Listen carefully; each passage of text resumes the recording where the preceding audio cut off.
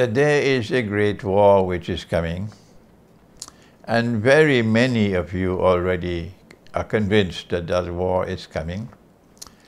And it will be the great war prophesied by our Prophet والسلام. In this hadith, for example, which offers a timeline of events of Akhir Zaman, I have quoted this hadith so many times that you're already familiar with it. I don't need to quote the Arabic anymore. That he said to his companion Mu'az ibn Jabal radiallahu ta'ala anhu, he said that when Jerusalem is center stage in the world, at that time Medina would be in full-on desolation. I'm giving you the meaning of the Arabic text, not the exact translation. And when Medina is playing no role at all in world affairs, at that time the Great War will take place. He calls it the Malhama. And we know from another hadith that 99 out of every 100 who fight in that war would be killed. And hence it has to be a war using weapons of mass destruction to kill 99% of combatants. There's never been a war like that all in all of history. The Malhama has not as yet taken place. The Christians and the Jews call it Armageddon. And Armageddon has not as yet taken place. The only people who believe that the Great War have, has already taken place are people who should buy a ticket to Disneyland. Then he said that when the Great War takes place, and it kills 99% of combatants, he says. The next event after that, in one hadith after seven months, the other hadith says after seven years. We don't know which one is correct. That the, the, the next event after that would be the Fathul Constantinia, the conquest of Constantinople. And one of the reasons why the name Constantinople has now disappeared from language. The name Constantinople has now been consigned to the museums of history is because of this prophecy. So that people would not remember, be conscious of the fact that there is a conquest of Constantinople coming. They change the name and they use an old name of Istanbul, but that will not help them because the name Constantinople is now coming back. I am, I am doing some of the work to restore that name, my scholarship. So then there is a conquest of Constantinople that is coming. I believe and I hope I am wrong. I hope I am wrong. I believe that one of the reasons why they wanted Trump out of the presidency was number one, they did not calculate that he would become president. They thought it would have been Hillary Clinton. And they bit their fingers in frustration when he became president because she was a part of their team and he was an outsider. They didn't trust him. He could walk the extra mile. Yes, he could recognize Jerusalem as the capital of Israel. He could change and get the U.S. Embassy in Jerusalem. No other president ever did before him. He could do all of these things, and yet they did not trust him. Among the things that he did that they could not tolerate, he said CNN is fake news. CNN is fake news. I would say not just CNN, Al Jazeera as well, and all the rest of them. Fake news. So they did not trust him. And they did every dirty trick in the world to try to get rid of him. And in the end, they also had a fake elections. They cheated in the election. That's what he said, and I believe he's true. And so they got rid of him. You may have different views from me. It does not change the analysis. And now they have someone they trust who's a part of their team, Joe Biden, as president. But he's an old man. And there is no likely, there is, a, there is a possibility that he may not survive for a second term. There's a possibility he might even die during a first term and then this uh, Kamala will become president. I don't think they want to wage a big war against Russia with Kamala as president. So my analysis, and you may differ with me, my analysis is it is more likely than not they would want to provoke the war with Russia. Of course, they don't want to take the blame for the war.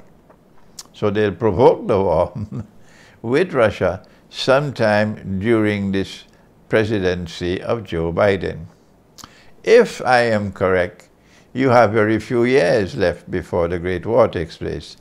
I hope I am wrong. Let me say that again. I hope I am wrong, but if I am right, then this is the situation that we face. Within a few years, the Great War may take place. And if the Great War takes place, what will Turkey do? Because remember, the event which follows the Great War is connected with Turkey, the conquest of Constantinople. My analysis is that Turkey has been consistent in its profile in following the profile of the Ottoman Empire. If I am wrong, then tell me what is right. This Turkey is faithfully following the profile of the Ottoman Empire. And the Ottoman Empire waged endless wars on Russia. Russia was the eternal enemy. The Orthodox Christian world was the eternal enemy from which, with which we must wage eternal jihad. If I am wrong, correct me.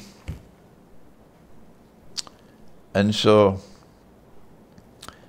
I expect, in fact, I am confident that when the Great War takes place, Turkey will fight faithfully with NATO. If I am wrong, I'm saying to you, come forward and correct me. Challenge me if you wish to because this is the time that come for the truth to be proclaimed. We don't have time anymore for wish-washing. We are now at a strategically located moment in history. And this is the time for the voice of truth to be proclaimed fearlessly and loudly, koi parwane. So I am confident in my analysis that I am correct, that in that war which is coming, Turkey will fight with NATO against Russia. Good. What will be the consequence for Turkey? Answer, Turkey will be destroyed. Turkey cannot stand up to Russia. NATO will be defeated. If NATO will be defeated, and this is Surah to Rahman of the Quran, Surah to Rahman of the Quran, Sanafrugulakum ayyuhathakalan. I'm going to deal with you, says Allah in the Quran, both of you, laden with sin. Hmm? Who are the two? Ya ma'ashar al-jinni wal-ins. That's the answer. Ya ma'ashar al-jinni wal-ins the world of people who are evil and the world of these demons, demons who are evil, who are in league and collaboration and alliance with each other, the jinn. سَنَفْرُغُ لَكُمْ أَيُّهَا الثَّقَلَانِ I am going to deal with both of you. And that's when the, that's what's going to happen in the Great War. Allah will intervene in this Great War and a Russia which is returning to her Orthodox Christian heart, and, and a Russia which is sincerely trying to follow Jesus, Nabi Isa will be helped by Allah because Allah promised them two victories. He says that in Surah Al-Rum, that there are two victories. Lillahi al-amr. Lillahi al-amr. It is Allah who decides. It is His authority which is supreme. Min qabl wa min ba'd. On both occasions, on both occasions, it is Allah's authority which will deliver victory to Rome. And Rome is Constantinople. You can do what you want. You can jump in the Red Sea if you want. You cannot challenge that. Rome is Constantinople. Get lost with your bogus jihad, your bogus scholarship. I'm telling you to your faces now, get lost with your bogus scholarship. Rome in the Quran is Constantinople. You can't change that. I'm sorry my voice has to be raised like this and my voice has to be, my words has to be like bullets because they wouldn't listen to me. Their arrogant scholarship, they believe they're right. But the Quran gives knowledge. Supreme knowledge, supreme truth, absolute truth is in the Quran. And I'm inviting them to the Quran. I'm teaching the Quran to them, but they would not listen. That's their arrogance. Truth in the Quran will prevail. Allah has promised two victories to Rome, whether they like it or they don't. Allah has promised two victories to Rome, before and after. And before and after invites us to think the language. There must be something in between, in, in, in the context of which this is before and that is after. And I have offered an answer in my book. Which book? Constantinople in the Quran. I don't know whether anyone ever wrote a book on this subject before me. I don't know. I don't know. Constantinople in the Quran. And I have never come across a book. But I have written this, thank Allah, Constantinople in the Quran. The first victory was in the time of Nabi Muhammad alayhi salatu wasalam the Constantinople which was victorious in the time of the Prophet والسلام, because of Allah's help, listen to me. It was a Constantinople which for, for the last 300 years was still believing in the Trinity. And for the last 300 years was worshipping Jesus as God and the Son of God. And yet, and yet, and yet Allah helped them. And yet they were victorious. And when they were victorious, we celebrated. Not only we, even Nabi Muhammad والسلام, celebrated. I know some of you are angry with Allah. I know some of you have more knowledge in your heads than Allah in the Quran, but you get lost get lost. You can't stand up in the way of truth. Truth will destroy you. Truth will throw you to the wilderness. And this is truth from the Quran. So you better listen to me now before it's too late for you.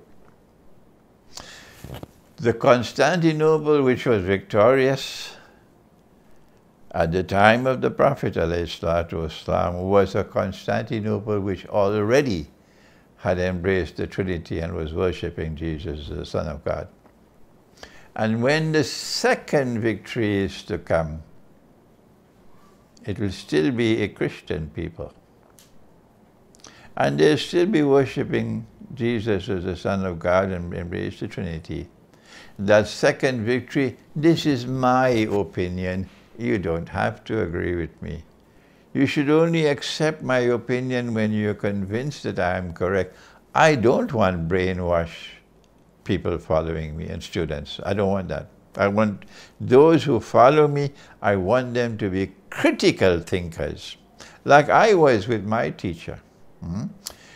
Russia will defeat NATO in this second, in this world war which is coming. And that victory of Russia would be the second victory of Rome that Allah speaks of in the Quran. So if Russia will, will be victorious over NATO, how will Turkey survive? The Turkish army is the biggest army, the biggest military in Europe at this time, I believe. But it'll all be gone. It will all be gone, it'll be finished. Russia will finish it in the war which is coming, provided that Turkey fights with NATO. I don't see any possibility at all of Turkey departing from its Ottoman profile and, and staying out of that great war or fighting with Russia. That's not possible. The Ottoman profile is eternal hatred for Russia and eternal hatred for the Orthodox Christian people. So yes, the Orthodox Christians in Greece are going to smile. They will smile in Thessaloniki when they listen to this video. They'll smile in Athens. They'll smile in Belgrade. But I don't know about the Muslims in Bosnia and Albania and Macedonia and so on, who have adopted this, this adoration for the Ottoman profile. I tell you, there's a surprise coming the conquest of Constantinople by a Muslim army, prophesied by Nabi Muhammad والسلام, will take place after the Great War. Let the sheep and the cattle and the goats and the camels believe it already took place in 1452. That's the way sheep and cattle believe. My language is harsh, yes, I know. But what can I do when people refuse to think? their sheep and cattle. The conquest of Constantinople prophesied by Nabi Muhammad والسلام, has not as yet taken place. Let the sheep and the cattle bleat about what they want to say, they can't change the truth. And that conquest of Constantinople by a Muslim army praised by the Prophet والسلام, and the commander is praised لتفتحن القسطنطينية ولنعم الأمير آمرها ولنعم الجيش ذلك الجيش That army will be able to conquer Constantinople. Why? Because NATO won't be around at that time. and the Turkish army will not be around at that time. I am doing this video to convey this news to you for the first time. I never did it before. This is the bad news because you put so much hope in Turkey because you were brainwashed by the Ottoman Empire. You must wake up and begin to be able to think and use the Quran as your primary source of knowledge. The way I am able to do it because I am faithful to the Quran. I always pray to Allah to give me that knowledge and He has given to me knowledge, I can't hide it. So I'm able to get away from the brainwashing. Yes, there's much that the Ottoman Empire did that I was always pleased with. And I've spoken about it. But this part of the Ottoman Empire has to be revealed. That they work consistently to sabotage the end time friendship and alliance between the Ummah of Nabi Muhammad والسلام, and the Ummah of Nabi Isa السلام, the followers of Jesus. The Muslim army will be able to conquer Constantinople easily at that time because there'll be Turkish Muslims fighting in that army. Turkish Muslims who have not been brainwashed by the Ottoman Empire and by the present Turkish government. There'll be Arab Muslims fighting in that army. It won't be Arab governments. No, no, it'll be people fighting in that army. And there will be people from, uh, from Khorasan fighting in that army. There'll be people from Algeria fighting in that army. Algeria has a backbone. So it will be a people's army, not a government army that will liberate Constantinople. Finally, you know my views on this subject. I know that all, all of Pakistan was celebrating, yes, because of this phenomenal brainwashing when Hagia Sophia was converted to a masjid for the second time, shamefully, disgracefully, manifestly, sinfully, all of Pakistan was congratulating Erdogan. I know about this total brainwashing, but the Pakistani people have a nice way about them. That when the truth is presented to them from the Quran, and they recognize it to be the truth, they accept it, despite all the brainwashing. This is my experience in six weeks that I've been here. Six weeks and not a single Pakistani has come forward to challenge me. Say, no, you're wrong. We're right. Not, it has not happened. This is a wonderful thing about Pakistan. So you know my view that the conversion of Hagia Sophia, the first time to a masjid, was shameful and disgraceful and sinful. And the second time was even more shameful and more disgraceful and more sinful. And so why would we conquer Constantinople after the Great War? You may have a different answer. I had a different answer when I began lecturing on this subject. It was perhaps 2011. Ten years ago, I gave my first lecture on this subject uh, at the International Islamic University in Malaysia. It was in the masjid and there were a few thousand students present and there were lots of Turkish professors sitting right in front of me. I don't think they enjoyed that lecture. so at that time, this was my view. And now different, I have a different view because I'm growing, alhamdulillah, in understanding the subject. I now say the primary reason why we will conquer Constantinople is because we'll then return Hagia Sophia to the Orthodox Christian people. No people weep for Hagia Sophia more than the Greek. The Russians weep the Serbs weep. The Romanians weep. The Bulgarians weep. The Armenians weep. But the Greek, they weep the most. That's why I promise you, as soon as the COVID restrictions on travel are removed, I will come to visit you in Greece, inshallah, and I'm going to come up to Thessaloniki, inshallah, definitely, inshallah, because you weep the most for Hagia Sophia. So you will be the happiest of all when we conquer Constantinople and they can't stop us. And we return Hagia Sophia to you and they cannot stop us. And when we return Hagia Sophia to you, at that time, if not before, you will remember me and you will remember what we this truth has come from the Quran. And this truth, which makes you so happy, has come from a man named Muhammad You would recognize that this is indeed a prophet of the one God. The whole Orthodox Christian world will, will, forget all the years of brainwashing. This truth has come from this man he is indeed a prophet of the one God.